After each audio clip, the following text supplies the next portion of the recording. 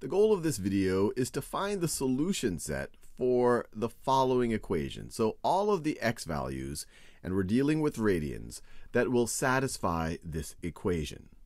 So I encourage you, like always, pause this video and see if you can work through this on your own before we work through it together. All right, now let's work through it together. Now, your intuition, which would be correct, might be let's see if we can isolate the sine of x over 4 algebraically. And the first step I would do is subtract 11 from both sides. And if you do that, you would get 8 sine of x over 4 is equal to 3. Just subtracted 11 both sides. Now to isolate the sine, I would divide both sides by 8. And I would get sine of x over 4 is equal to 3 eighths. Now before I go further, let's think about whether this is the most general solution here, or whether we're going to find all of the solution set here. Well, we have to remind ourselves, let me actually draw a little bit of a unit circle here. So that's my x-axis, that's my y-axis, then a circle.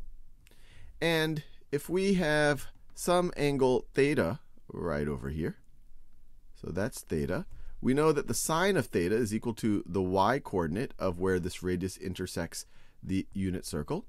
And we also know that if we add an arbitrary number of 2 pi's here, if we subtract an arbitrary number of 2 pi's, we go all the way around the unit circle back to where we began, and so the sine of theta would be the same. So we know that sine of theta plus any integer multiple of 2 pi, that's going to be equal to the sine of theta. And so we can generalize this a little bit. We could, instead of just saying sine of x over 4 is equal to 3 eighths, we could write that sine of x over 4 plus any integer multiple of 2 pi is going to be equal to 3 eighths, where n is any integer. It could even be a negative 1, a negative 2, or of course could be 0, 1, 2, 3, so on and so forth. So is this, if we solve now for x, is this going to give us the most general solution set?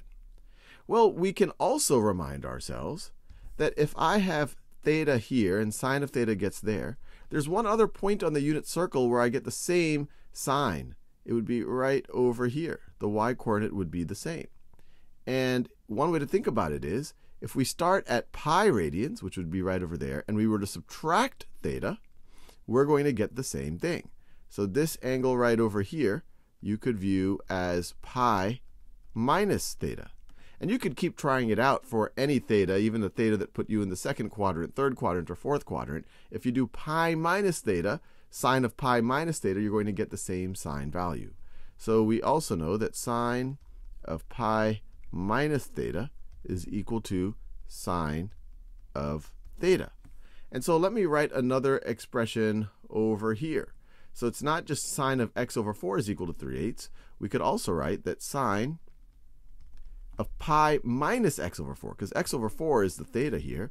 Sine of pi minus x over 4 is equal to 3 eighths. And of course, we can also use the other principle that we could add 2 pi or subtract 2 pi from this an arbitrary number of times, and the sine of that will still be equal to 3 eighths. So I could write it like this. Sine of pi minus x over 4 plus an integer multiple of 2 pi that is going to be equal to 3 eighths. And if I solve both of these, the combination of them, the union of them, would give me the broadest solution set. So let's do that. So over here, let me take the inverse sine of both sides. I get x over 4 plus 2 pi n is equal to the inverse sine of 3 eighths. Now I could subtract 2 pi n from both sides. I get x over 4 is equal to the inverse sine of 3 eighths minus 2 pi n. And if you think about it, because n can be any integer, this sign here in front of the 2, this negative, really doesn't matter. It could even be a positive. And now let's multiply both sides by 4. We get x is equal to 4 times the inverse sine of 3 eighths minus 8 pi n.